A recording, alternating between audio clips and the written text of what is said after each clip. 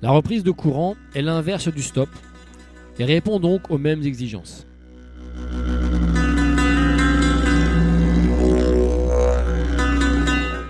Il faudra prendre un peu de vitesse dans le contre afin de percuter la ligne de contre à 14h ou 10h. Ensuite, on placera une circulaire extérieure au virage avec comme objectif de franchir la ligne perpendiculairement. À l'entrée dans le courant, on gîte en aval. Enfin, on place la propulsion intérieure verticale que l'on transformera en appel statique.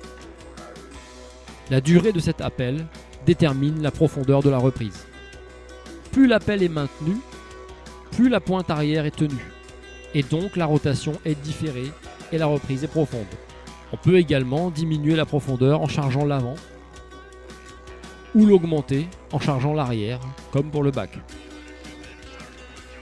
La propulsion avant est d'autant plus utile que la vitesse initiale est faible et que le bateau pivote facilement. On terminera par un appel avant, pale fermée, qui termine la rotation, met le bateau dans l'axe du courant et place la pagaie en position de propulsion.